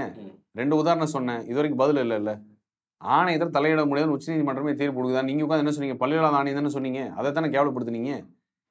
அது பெற்று தந்த அஇஅதிமுக அம்மாவின் அரசு தானே எடப்பாடியா தானே அது பெற்று கொடுத்தாரு. அதனால தான் நீங்க உங்களுக்கு வந்து தண்ணி திறந்து விடுறானு பயந்து. ஆனா வாயை மூட்டு நாலு மாசம் உட்காந்துருக்கீங்க அப்பயே போயிருக்கணும்ல கோர்ட்டுக்கு சுப்ரீம் கோர்ட்டுக்கு. ஜூன் மாசம் பன்னெண்டாம் தேதி தொடர்ந்து விடணும்னா உட்காந்து செப்டம்பர் மாசமா போவீங்க நீங்க? உச்சநீதிமன்றத்துக்கு அப்பயே கிளம்பி இருக்கணும்ல போயிருக்கணும்ல எதிர்த்து ஒரு அறிக்கை கொடுக்கல. கூட்டணி கட்சி தானே காங்கிரஸ் எதிர்த்து ஒரு அறிக்கை கொடுக்கல. அப்புறம் எல்லா நாடகமும் பண்ணிட்டு என்ன மதேஷ் எப்படி மதேஷ் நீங்க வந்து அஇஅதிமுக போய் அங்க நின்னா ஒன்னா நின்னா ஒருனா வழிவகைகள் காமிச்சு கொடுத்தாச்சு மதேஷ். அது இன்னும் சிறப்பா செய்ய வேண்டியது யாரோட பொறுப்பு. ஆட்சியில் இருக்கிற அதிகாரத்தில் இருக்கிறவங்களோட பொறுப்பு தானே அது? நான் மறுபடியும் இந்த கூட்டணி விஷயத்துக்கே வரேன் சார். என்டிஏ அலைன்ஸ் ஒன்று இருக்கு. ஒரு கூட்டம் நடந்தது. இபிஎஸ் பக்கத்தில் உட்காச்சாங்க உட்கார வச்சாங்க பக்கத்தில் உட்கார வச்சாங்க. எல்லாமே நம்ம பார்த்தோம். ஆனால் இந்தியா கூட்டணி அளவுக்கான என்டிஏ கூட்டணி ரொம்ப ஒரு ஒரு ஒரு பெரிய ஒரு இதாக தெரியுற மாதிரி ஒரு பெரிய உயரத்தில் இருக்கிற மாதிரிலாம் ஒன்றும் தெரியலையே சார். ஆக்டிவாக இருக்கிற மாதிரி தெரியலையே சார் ம- ஜனநாயகத்துல மன்னராட்சி நடத்துற கட்சிகள். அவங்கெல்லாம் எங்க கையில அதிகாரம் கொடுத்துருங்க தயவு செஞ்சு அப்படின்னு எதுக்கு திரும்ப கேட்டிருக்காங்க? அதிகாரம். அதிகாரம் எங்க கையில வந்துச்சுன்னா அவங்க மேல இருக்கிற வழக்குகள் வந்து நீர்த்து போக செய்யலாம் அப்படின்னு. அதுக்காக என்ன செந்தில் பாலாஜி என்கிற அனில் பாலாஜி உட்காந்துருக்கிறாரு ஜாமீன் கூட கிடைக்காம இதுதான் அவங்களோட நோக்கம். அதனால அவங்க தினம் தினம் மக்கள்கிட்ட கத்திட்டே தான் இருக்கணும். ஒன்பது வருஷம் ஆபத்தை ஏற்படுத்தி விட்டதுன்றாங்க. மறுபடியும் அவங்க வர வந்தாங்கன்னா நாடே இல்லாம அது போயிடுது மக்கள்கிட்ட எடுத்துட்டு போக சொல்லுங்க. மக்கள்கிட்ட எடுத்துட்டு போய் நீங்க பாஜக ஆட்சியில? பாலாரும் தேனாரும் ஓடிச்சுன்றீங்களா? நீங்க? தமிழகத்துல ஓடிச்சுங்க. தமிழ்நாடு ஏன்னா தமிழ்நாட்டுல அஇஅதிமுக தான். பலன் தினம் அஇஅதிமுக ஆட்சி காலத்துல ஓடிச்சு. இல்லைன்னு சொல்ல சொல்லுங்க நான் வேணா தரவுகள் தரேன். ஆமா பலன் தினம் ஆமா. இன்னொரு ஒரு அடிப்படை ஒரு விஷயம் சொல்லட்டுமா? ரெண்டாயிரத்தி பதினொன்று தனி நம்பர் வருமானம் ஒன்றரை லட்ச ரூபான்னு சொன்னீங்க. ம். நாங்க ஆட்சி விட்டு போனோடனே தனி நம்பர் வருமானம் ரெண்டரை லட்சங்கிறீங்க தமிழ்நாட்டுல. பதிமூணு பர்சன்ட் வறுமை கோட்டில் கீழ் இருப்பவர்கள். இன்று வந்து நாலு பர்சன்ட் அப்படிங்கிறீங்க. யாரால சாத்தியமாச்சு. பத்து வருஷம் ஆட்சி பண்ண அஇஅதிமுக. அன்னைக்கு அஞ்சரை லட்சம்? கோடி கடன் இன்னைக்கு ஒன்பது லட்சம் கோடியா மாறி இருக்குது இங்க அஞ்சு லட்சம் கோடி கடனா? ஆமா. பிடிஆருக்கே தெரியாத விஷயம் உங்களுக்கு தெரிஞ்சிருக்கு? அஞ்சரை லட்சம் கோடி கடன் சார் அன்னைக்கு. பிடிஆருக்கே நீங்க ஆட்சியில விட்டு போ நீங்க வெளியேறின போது அஞ்சரை லட்சம் பிடிஆருக்கே தெரியாத விஷயம் உங்களுக்கு தெரிஞ்சிருக்கு? ஏன் சட்டமன்றத்துல ரெண்டாயிரத்தி பதினொன்னு ஒரு லட்சம் கோடி கடன் நான் உங்களை கடைசி அந்த நாலரை வருஷம் டென்யூர் முடிஞ்சதுக்கு அப்புறம் சொல்றேன். கணக்கெல்லாம் இல்ல இல்ல. நான் சொல்றேன். நீங்க பத்து வருஷத்தையும் சேர்த்து இல்ல பிடிஆர் கொடுத்த கணக்கு. பிரிக்காதீங்க சார். பிடிஆர் கொடுத்த கணக்கு? சட்டமன்றத்துல பிடிஆர் கொடுத்தது நான் சார் நீங்க வெளியே போகும்போது அஞ்சு லட்சம் கோடி கடன் சார். என்னங்க? நாலு லட்சம் எழுபதாயிருங்க. சரி இப்ப அஞ்சு ரெண்டு அஞ்சு வந்துட்டீங்களா? ஓகே. நாலு லட்சத்தி எழுபதாயிரத்துக்கு அஞ்சு லட்சத்துக்கு எவ்வளவு சார் சரி ஒரு? நிமிஷம். நாலு லட்சத்தி எழுபதாயிரம் இருங்க. நாலு லட்சம் எழுபதாயிரம் கோடி. ஆரம்பிக்கும் போது எவ்வளவு கடன் சார்? ஒரு லட்சம் கோடி கடன். சரி. முடிக்குமா நாலு லட்சம் எழுபதாயிரம். மூணு லட்சம் எழுபதாயிரம் கோடி நிகர கடன். வருஷத்துக்கு எவ்வளவு சார் வாங்கியிருக்கோம்? சராசரியா முப்பத்தேழாயிரம் கோடி கடன். இங்க வந்து ரெண்டு வருஷத்துல ரெண்டு லட்சம் எழுபத்தி நாலாயிரம் எழுபத்தி நாலாயிரம் கோடி கடன். இன்னைக்கு திட்டங்களா போயிருக்குல்ல? என்ன திட்டம் போயிருக்கு? ஆயிரம் ரூபாய் எல்லா ரூபாய் எல்லாருக்கும் போயிருக்குது. அதுக்கு எவ்வளவு போயிருக்கு? மாதிரி? எல்லாருக்கும். ஆயிரம் ஏழாயிரம் கோடி இப்ப ஒதுக்கி இருக்காங்க தனியா ரெண்டே முக்கால் லட்சம் கோடி. ரெண்டு கோடி எழுபத்தி நாலு லட்சம் வாங்கினது ரெண்டே வருஷத்துல. நாங்க சராசரி ஆண்டுக்கு முப்பத்தேழாயிரம் கோடி. இவங்க சராசரி ஆண்டுக்கு ஒரு லட்சத்தி முப்பத்தாறாயிரம் கோடி. என்ன வித்தியாசம் தெரியுதா மதேஷ் உங்களுக்கு? இல்ல ஆனா பொருளாதார ரீதியா இன்னைக்கு ஆட்சிக்கு வந்ததுல இருந்து கொடுத்துருக்கீங்களா இப்ப கொடுத்துரு இப்ப கொடுக்குறீங்க. செப்டம்பர் பதினஞ்சு முடியாது. நீங்க பண்ணிட்டு போனதுனாலதான் அவங்களால உடனே கொடுக்க முடியலன்றாங்க. அப்படின்னு அவங்க கையாள அவங்க தந்து சொல்லுவாங்க. அதை நம்ப சொல்றீங்க. மக்கள் அதை நம்பணும். நீங்க நீங்க வச்சுட்டு போன வருஷத்துல கடனுக்கு முதல் ரெண்டு வருஷம் கரண்ட் இல்ல. கடைசி ஒன்றரை வருஷம் கொரோனா ஸோ பத்து வருஷத்துல மூன்றரை வருஷம் ஆட்சி பண்ணக்கூடிய சூழ்நிலை கிடையாது. அப்படியும் கூட ஒன்றரை லட்சம் தனிநபர் வருமானம் ரெண்டரை லட்சம் ஆயிருக்கு. ஏழு லட்சம் கோடி மாநில உற்பத்தி வந்து இருபத்தி மூணு லட்சம் கோடி மாநில உற்பத்தி ஆயிருக்குது. பதினாலு விழுக்காடு இருந்த வறுமை கோட்டின் கீழே இருப்பவர் நாலு சதவீதம் ஆயிருக்கு. அப்புறம் தமிழகத்துல பாலாறு தின திணறு உடம்பு என்ன ஓடுச்சு? வேணா இவ- இவங்க ஆட்சியில பெருமை பேசிக்கலாம். குடித நீர் எல்லாம் மழை ஓடுது அப்படின்னா இன்னும் ஒரு ஒரு வருஷம் கழிச்சு திமுக வந்து பெருமையா பேசிக்கலாம். எங்க. ஆட்சிகளில் குடித நீரில் மலம் ஓடியது அப்படின்னு பேசிக்கலாம். எதை சொல்றீங்க எதை சொன்னேன்? எதை வேங்கை வயல். சார். நேத்திக்கு ஒரு சம்பவம். அதைத்தான் சொல்ல முடியும். வேற என்ன சொல்ல முடியும்? ஒரு தனிநபர்கள் சார்ந்து ஒரு ஏதோ ஒரு பிரச்சனை பெரிய பிரச்சனையா வந்துருச்சு? ஆனா தவறுதான். அது நீங்க வந்து ஏதோ குடிநீர்ல தமிழ்நாட்டுல ஸ்டாலின் ஆட்சியில ஃபுல்லா குடிநீர் எல்லாம் ஒரு ப்ரொபகண்டாவை வேற மாதிரி பண்ணாதீங்க. தப்பா கொண்டு போய் ப்ரொஜெக்ட்? பண்ணாதீங்க. நீங்க மட்டும் வந்து அவங்க சொல்றாங்க நீங்க நாங்க கடன் வாங்கினாலதான் அவங்களால கொடுக்க முடியல மக்கள். சார் நான் கொடுத்துட்டு இருந்தோம் ஆயிரம் ரூபாய் ஏன் ஆட்சி தொடர்ந்தே கொடுக்க முடியல? அப்பவே கொடுத்தாங்க. அப்பவே தேர்தல் வாக்குறுதி கொடுத்தாங்க. பொருளாதார தேர்தல் வாக்குறுதி சார். அறிவில்லையா? இது வெள்ளை அறிக்கை வெளியிட்டாரா தேர்தல் வாக்குறுதி? கொடுக்குமா அறிவில்லையா இப்போ? நான் சொல்றேன் மிக சிறப்பான ஆக தமிழக மகளிர் அனைவருக்கும் மிக சிறப்பான திட்டம். அனைத்து மகளிருக்கும் ஃபர்ஸ்ட் சொன்னது அனைத்து மகளிருக்கும் மாதந்தோறும் ஆயிரம் ரூபாய். அப்புறம் உடனே அடுத்து அடுத்த குடும்ப அட்டைகள் இருக்கிற அனைத்து மகளிருக்கும் மாதம் மாதம் ஆயிரம் ரூபாய் குடும்ப அட்டைக்கு வந்து ரெண்டு கோடி இருபது லட்சம் மகளிர். சார், எல்லா ஏன் குடும்ப வாக்குறுதி கொடுத்தீங்க? ரெண்டு கோடி இருபத்தஞ்சு லட்சம் குடும்ப அட்டைக்கும்? ஆட்சி வந்த உடனே நாலாயிரம் ரூபாய் கொடுத்தாங்க உடனே நாலாயிரம் ஏன் கொடுத்தாங்க. ஆயிரம் ரூபாங்கிறது மாதம் மாதம் தரக்கூடிய ஒரு அது முடியல இப்ப கொடுத்திருக்காங்க சார். ஏன் வாக்குறுதி. கொடுத்தீங்கன்னு கேட்கணும் என்ன கதையா இருக்குது? செருப்பால் அடிச்சு கருப்பி கொடுக்குற மாதிரி உங்க ஊர்ல அதான் எங்க ஊர் பழமொழி சொல்லுவாங்க. என்ன வான் பழின்னு செருப்பால் அடிச்சு அப்புறம் ஏன் செருப்பால் அடிச்சு சரி சரி கோச்சுக்காக கருப்பி வச்சுக்கங்கிற மாதிரி. அப்படிதானே? ரெண்டரை வருஷம் கொடுக்கலையாமா. அப்புறம் ஏழாயிரம் கோடி ஒதுக்கி வச்சு இப்போ தேர்தல் வருதுங்கிறக்காக ஏழு மாசம் கணக்கு வச்சு மாசம் மாசம் கொடுப்பாங்கன்னு அது தகுதின்னு ஒன்று உள்ள சொருகி. அதை வந்து இருக்கிறவங்களுக்கு எல்லாம் கருணாநிதினு பேர் வச்சோன்னே ஒரு பாதி பேருக்கு தகுதி போயிருச்சு. ஒரு கோடி மகளிர் அப்படின்னு சொல்லி அது கொடுப்பாங்களாமா? அது ஒரு ஆயிரம் கோடி ஒதுக்கி வச்சு ஏழுக்கு ஏழாயிரம் கோடி ஒதுக்கி வச்சு தேர்தலுக்காக நடக்கிற நாடகத்துக்கு வந்து ஆஹா பிரமாதமா நிறைவேற்றுறான்னு மக்கள் பாராட்டணுமா சார் இது என்னுடைய ஆட்சி நான் என்- எப்பெல்லாம் ஆட்சியில் இருக்கணும் இதெல்லாம் இருக்குன்றாரு ஒன்று ரெண்டரை வருஷம் இல்லையா? அப்ப அவர் ஆச்சு இல்லையா? அப்ப சூழ்நிலையை நான் சொல்லிட்டேன். மறுபடியும் நீங்க தேஞ்சு போன ரெக்கார்ட் ஆட்டம் என்னைய மறுபடியும் சொல்ல சொல்றீங்க. என்னங்க வாக்குறுதி கொடுத்தாங்க நிறைவேற்றினாங்களா பணம் இல்லையான்னு இல்ல கேட்டா பணம் இல்ல அவங்க தான் இப்ப பணம் இல்லாம கொடுக்குற அளவுக்கு அறிவு இருக்கான்னு கேட்டேன். தேர்தல் வாக்குறுதி அவ்வளவுதான் அறிவு இருந்துச்சான்னு கேட்டேன். எதுக்குமே பதில் சொல்ல போய் எலெக்ஷன் டைம் கொடுக்குறாங்கன்றீங்க நீங்க. இது எலெக்ஷன் டைம் தான் கொடுக்குறாங்க. அதுவும் ஒடுக்கப்பட்டோர் பிற்படுத்தப்பட்டோர் நிதியை பிடிங்கி தான் கொடுக்குறாங்க. ஏழாயிரம் கோடிங்கிறது இதுக்காக தனியா அதெல்லாம் கொடுத்துட்டாங்க. அப்படியெல்லாம் அதுல இருந்து நாங்க எடுக்கல அது- அதெல்லாம் அவங்க சொல்லுவாங்க. அப்ப அவங்க சொன்னா வந்து ஹரிச்சந்திரன் சொன்ன மாதிரி நாங்க சொன்னா மட்டும் இல்லையா பொய்யா? சார் பாஜக மீண்டும் வந்தால் இந்தியாவுக்கு ஆபத்து தமிழ்நாட்டுக்கு ஆபத்துன்றாரு. நீங்க என்ன பாஜக மீண்டும் வந்தா அதுக்கு எதுக்கு பாஜக வரணும்? ஸ்டாலின் இருந்தாலே போதுமே. தீவிரவாத தாக்குதல். எண்ணெயிலேருந்து வந்து ஐசிஎஸ்க்கு ஆள் சேர்க்குற ஆளை பிடிச்சிட்டு போறாங்க. ஒரு கல்லூரியிலேயே ட்ரைனிங் நடக்குதுங்கிற அளவுக்கு தகவல் வருது. அதை பத்தி எதுவும் பேச மாட்டேங்கிறாங்க. இன்னும் சிலிண்டர் பிளாஸ்ட் தான் சொல்லிட்டு இருக்கிறாரு. தீவிரவாத தாக்குதல் சொல்ல மாட்டாங்க. தீவிரவாதம் வந்தாச்சு. கொலை கொள்ளை வந்தாச்சு. போதை வந்தாச்சு. இதை மேல என்ன வேணும்? தமிழகத்துக்கு வரக்கு? என்னெல்லாம் அவங்க வந்து அவர்னு சொன்னா திமுகலே வந்தாச்சே. இவங்க ரெண்டரை வருஷம் ஆட்சியிலேயே வந்தாச்சு. இதுக்கு மேல வரக்கு என்ன இருக்கு? தினம் தினம் கொலை கொள்ளை போதையில் தள்ளாடுகிற தமிழ் ஆமா தள்ளாடுகிற தமிழகம் தீவிரவாதம் வந்தாச்சு தீவிரவாதம் வந்தாச்சு. நீ வரக்கு என்ன இருக்கு தமிழகத்துல? சமூக நீதி, சமூக நீதி சமூக நீதி சமத்துவம் சொல்லிட்டு. வந்தாச்சு. வேங்க வேல்னு சொல்லியாச்சு. நேற்றுக்கு தருமபுரியில் இன்சிடென்ட்னு சொல்லியாச்சு. இதுக்கு மேல ஜாதிய பாகுபாடு சமத்துவம் சமூக நீதி பிஜேபி பேசுறதுக்கு என்ன இருக்கு? ஓரளவுக்கு தாங்கி பிடிக்கலாம். ஓவரா தாங்கி பிடிக்கிறீங்க. நான். என்ன தமிழ்நாடு தாங்கி. பிடிக்கிறீங்க. நான் தமிழ்நாடு போய் தானே பேசிட்டு இருக்கேன். என்னோட ஏங்க எங்க எதிர்கட்சி திமுகங்க அவங்கள போய் சொல்லாம நான் வேற இடத்த போய் சொல்லுவேன்.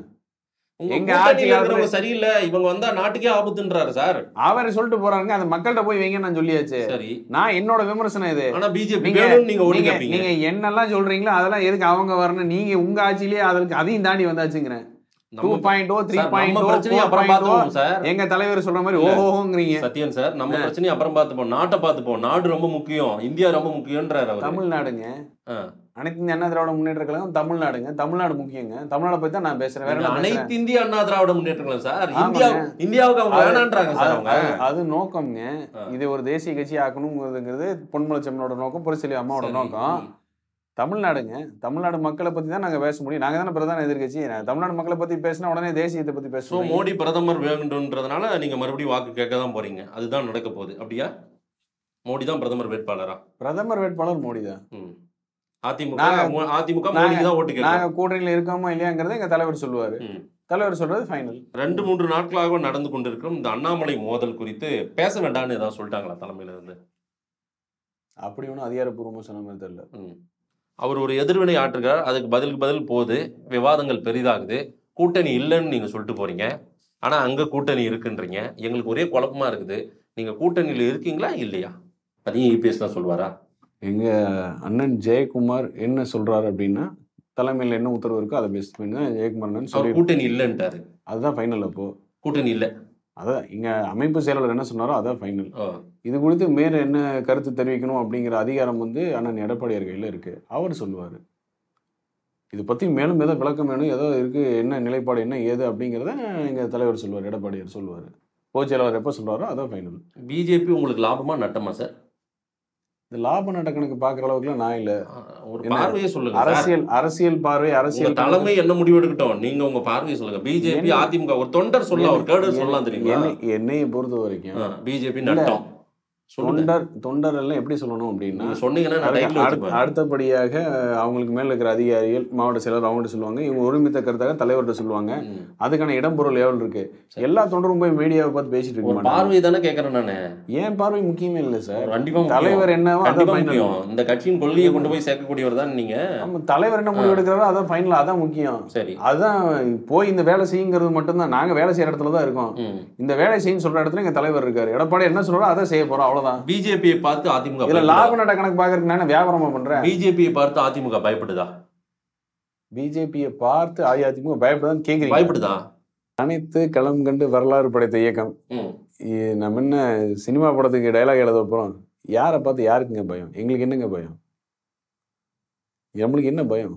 அதெல்லாம் ஒண்ணும் இல்ல. நான் என்ன திமுகவா? வேற மாதிரி பேசி நேர்வின் மகளை வருக நிலையான ஆட்சி தெரியும் போய் கால் ம். அந்த மாதிரிலாம் கிடையாது. டிவிஎஸ் எல்லாம் இருக்குன்றாரு அவரு. அது அந்த தலைவர் பாஜக தலைவர். டிவிஎஸ் எல்லாம் இருக்கு தெரியுங்களா? மாநில அரசோட கட்டுப்பாடுல தான் இருக்குது. ஆமா. அதான். டிவிஎஸ் ரேட் எல்லாம் வரப்போகுது. அதெல்லாம் அதெல்லாம் தெரியுதா? ஏன்? முன்னாடி வந்து போதான்றாரு. ஒண்ணுமே இல்லாததான் மூணு தடவை வந்து வந்து தேடி தேடி போயிட்டாங்க. தேடி தேடி டயர்ட் ஆயிட்டாங்க டிவிஎஸ்சி அது தெரியாம அவர் சொல்றாரு பிஜேபி தலைவர். அது அவர்கிட்ட கேளுங்க. அது அவர்கிட்ட போய் கேளுங்க. கூட்டணின்னா கூட்டணி நிலைப்பாடு என்ன எடுக்கக்கூடிய அதிகாரம் எடப்பாடியார் கையில் இருக்குது அவர் என்ன சொல்கிறாரோ அது ஃபைனல் அதைத்தான் வந்து இரண்டரை கோடி நாற்பத்தி நாலு லட்சம் தொண்டர்களும் அதை தான் செய்வாங்க. ராணுவ கட்டுப்பாடு கொண்ட இயக்கம்ங்கிறதுக்கான அடையாளம் அதுதான். அதுதான் ஃபைனல் யாருக்கும் மாற்று கருத்து கிடையாது. எடப்பாடியார் சொன்ன க கருத்து வந்து உடன்பட மாட்டேன்னு யாரும் சொல்ல போகிறதில்ல யாரும் சொல்லவும் மாட்டாங்க. அதான் அனைத்து அண்ணா திராவிட முன்னேற்ற கழகம். அவர் என்ன சொல்கிறாரோ அது ஃபைனல் இறுதியாக ஒரு கேள்வி சார். என்டிஏ அலைன்ஸ்குள்ளார சசிகலா வராங்க தினகரன் வராங்க ஓபிஎஸ் வராங்க. என்டிஏ ஒட்டுமொத்தமா. இந்தியா முழுமைக்கும். வராங்க. வராங்கன்னா. உங்களுடைய நிலைப்பாடு என்னவா இருக்கும்? அதிமுக. எடப்பாடியார் தான் ஃபைனல் சொல்லியாச்சு. இபிஎஸ் ஏத்துக்கிட்ட வேலை செய்வீங்க. அவர் என்ன சொல்றாரோ அதான் ஃபைனல் சொல்றேன். இதுக்கு மேல நான் சேர்த்துக்கிட்டா என்ன சேர்த்துக்காடி என்ன அவர் முதல்லயே சொல்லியாச்சு. அவர்களுக்கு இடமில்லை கதவுகள் அடைக்கப்பட்டாகிவிட்டது அது உங்க உங்க பிரச்சனை அது. அம்மா மோடி முடிவு பிரச்சனை அமித்ஷா பிரச்சனை அது அவங்களுக்கு இல்ல இல்லையே. சொல்றேன். அம்மா ஒரு முடிவெடுத்து எப்படி நிப்பாங்களோ தீர்க்கமா அதே மாதிரிதான் எடப்பாடி ஒரு. முடிவெடுத்து அதுல பின்வாங்கம் தீர்க்கமா நிப்பாரு. ஓகே. அவர்கள் கதவுகள் அடைக்கப்பட்டாகிவிட்டனன்னு சொல்லியாச்சு. அவங்களுக்கு பிஜேபி ரூட்ல வராங்க அப்படின்னா பிஜேபி ரூட்ல ஒரு கதவு அவங்களுக்கு சின்னதா ஒரு கதவு ரெடி பண்ணி உள்ள கூட்டு வராங்க அப்படின்னா நீங்க ஒத்துப்பீங்களான்னு கேக்குறேன். இதெல்லாம் அதிகாரப்பூர்வமா அறிவிப்பு வரும்போது பார்ப்போம். பின்னாடி தலைவர் என்ன முடிவு எடுத்து சொல்லுவாங்க அதை அப்ப பார்ப்போம். இப்போ யூகத்துக்கு எதுக்கு பதில் சொல்லணும்? யூகம் இல்ல ஒரு யூகம்னா யூகம்னா. ப்ராபபிலிட்டி யூகமெல்லாம் இல்ல நடக்கலாம் நடக்கும்ன்ற மாதிரி எல்லாம் சொல்லிக்கிறாங்க. அரசியல் அரசியல் களத்துல அதான் one day's big day in politics எது வேணா நடக்கலாம். என்ன? எல்லாத்துக்கும் every action is equal and opposite reaction இந்த இந்த இடத்துல இந்த இந்த டைம்ல என்ன முடிவு எடுக்கணும் என்ன முடிவு எடுத்தா சரியா இருக்கணும்னு சொல்லி எப்படி அம்மா தீர்க்கமா முடிவு எடுப்பாங்களோ அதே தீர்க்கத்தோட தான் நான் எடப்பாடியார் முடிவு எடுப்பார் அவர் முடிவு எடுக்கிறது வந்து என்னென்ன உடனே அதை ஃபாலோ பண்றது தான் எங்களோட வேலை. அதை தான் நாங்கள் செய்வோம். நிறைய விஷயங்கள் ரொம்ப யதார்த்தமா சொல்லியிருக்கீங்க. நான் இயல்பா எழக்கூடிய கேள்விகள் தான். எதுவும் உங்க மேலெல்லாம் ஒரு ஒரு இந்த கேள்வியெல்லாம் வைக்கணுன்றது எதுவும் எழுதிட்டுலாம் வரல. பேசிக்கிறாங்க. எல்லாரும் பேசிக்கிறது தான் கேள்வியா வச்சிருக்கேன். மகிழ்ச்சி. ஆமா மக்கள் என்ன சொல்றாங்கன்னு பார்க்கலாம். நேரம் கொடுத்து பேசியமைக்கு நன்றி திரு சத்யன் நன்றி மாதேஷ் வாழ்த்துக்கள்.